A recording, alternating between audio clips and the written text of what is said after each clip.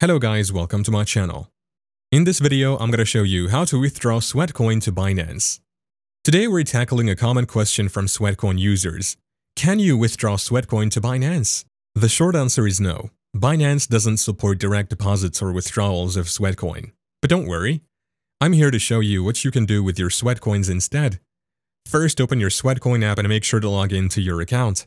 So if you're new to Sweatcoin, it's a fitness app that rewards you with Sweatcoins for walking.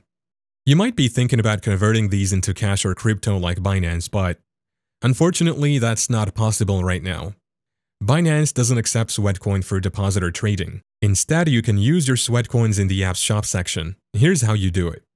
In your Sweatcoin app, go to the shop. You'll find a variety of items you can purchase using your Sweatcoins. This could be anything from gadgets to gift cards. You can also use Sweatcoins to support various causes.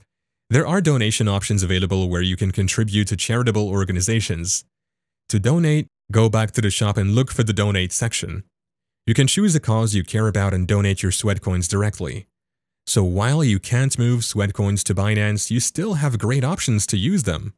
Whether it's shopping for cool items or supporting a charity, your Sweatcoins have value. Thank you for watching. If this video was helpful, please leave a like and subscribe to my channel for more videos like this, and click on that notification bell to never miss an update.